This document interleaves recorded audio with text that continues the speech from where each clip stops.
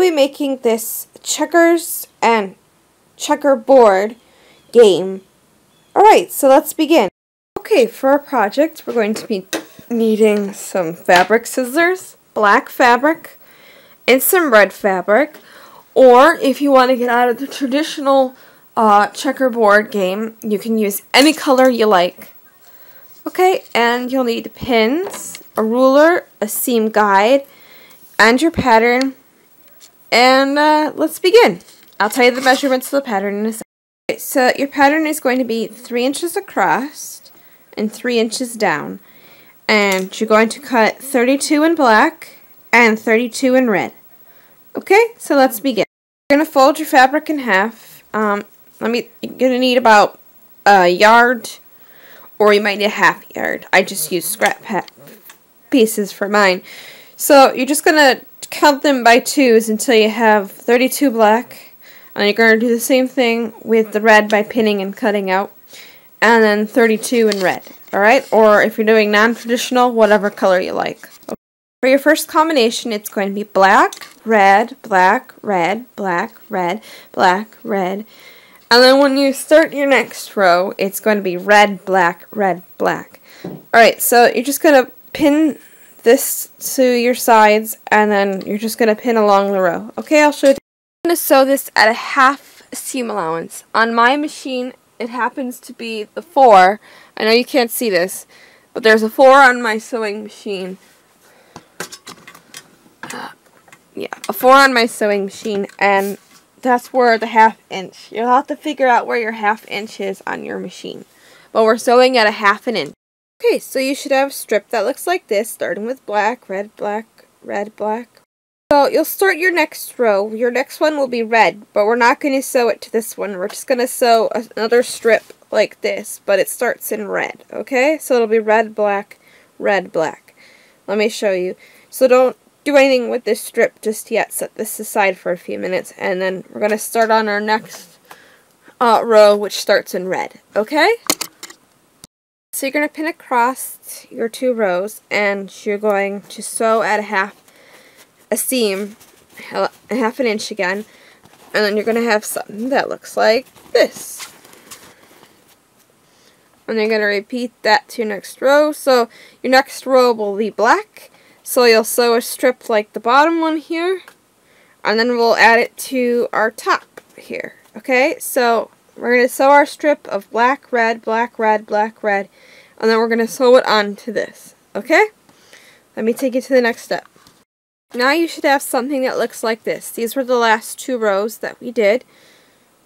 And we sewed them on to our checkerboard. And then with the remainder 32, you're going to do the same thing. So we have two halves now that look like this. Alright? So now we're going to sew this part to the other part. Okay? So repeat the steps for the other panel. Alright? Let me put them together and you. Now where you got your edge sewn, now we're going to iron this whole thing and then I'll take you to your next step, okay? Okay, so you're going to cut a piece of batting about the same size as your checkerboard. And then you're going to do the same thing for your back piece. So now we're going to pin the batting on the wrong side of your fabric. And then you're going to put your checkers uh, with the right sides of the right sides of your lining together. And you're going to pin. And then you're going to sew a half a seam around this again, leaving a 2 inch opening at one of your ends, okay? So your batting goes on your wrong side of your fabric and your lining goes with the right sides of your fabric. I don't know if you can see this, but this is the right sides and that's the wrong side. Okay? So sew that at a half a seam and I'll take you to the next.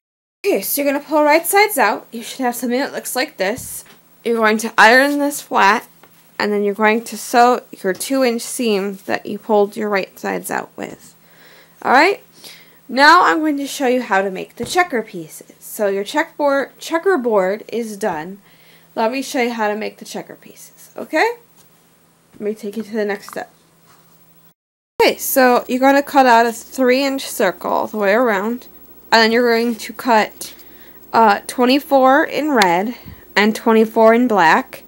Or you can use the same fabric you used for making your uh, checkerboard, alright?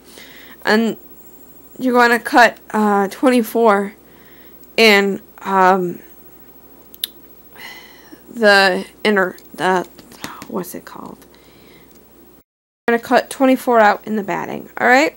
From then there, you're going to put uh, your right sides together with your um, 24 black, your 24 uh, in black and 24 in red, and then you're going to take your webbing and put it on one side, alright? And then you're going to sew a half a seam around here. Then you're going to pull right sides out, and then I'll take you to the next step, okay? So after you pull right sides out, you're going to tuck your ends in, and then you're going to sew it. And then you're going to do that to the remainder of your pieces, okay? So then, now I'm going to show you how to make the bag for these checkers, alright? So for a bag, you're going to cut a piece of fabric that's 8 by 8 Then you're going to fold it in half, and you're going to sew one edge up. And then you're going to fold down your um, your top by one inch, and you're going to sew a half an inch line over. You're going to insert your elastic, and you're going to pull tight for our bag for our um, checker pieces, alright? And then you're going to pull right sides out, and then I'll take you to the next step, okay? So without your checkers being in your bag, you're going to sew along the edge, and then you're going to put your checkers in here, and then you're done. Alright. Let me show you what that looks like in its full entirety. This is what it looks like all done. You got your checkerboard, your checkers are in here, with your holding bag. Alright. That's what that looks like, alright?